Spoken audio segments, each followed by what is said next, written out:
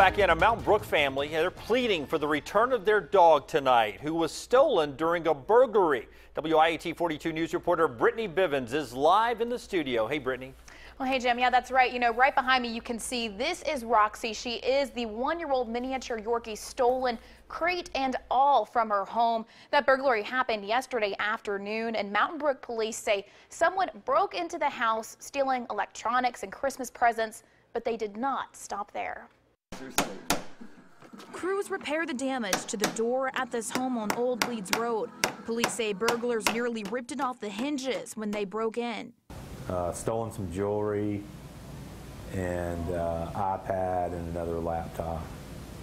Um, went went through and opened Christmas which presents. We don't really care about that stuff. We just want to get the dog back. This is the dog. Roxy, a tricolored four-pound miniature Yorkie. She's lived here with Natalie and Wes McDonald since January. But she was a lot of fun, loved to go on a walk. Um, just act, acted like a puppy. She's a year old, but she had a lot of energy like a puppy.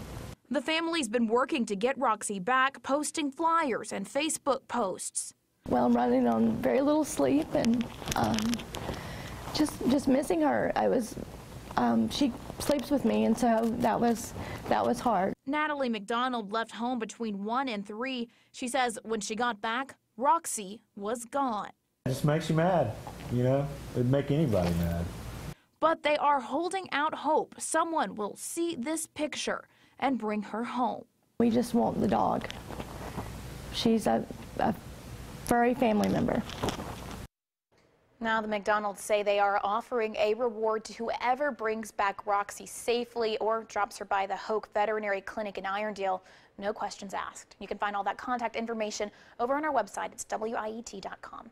Live in the studio, Brittany Bivens, WIET 42 News coverage you can count on.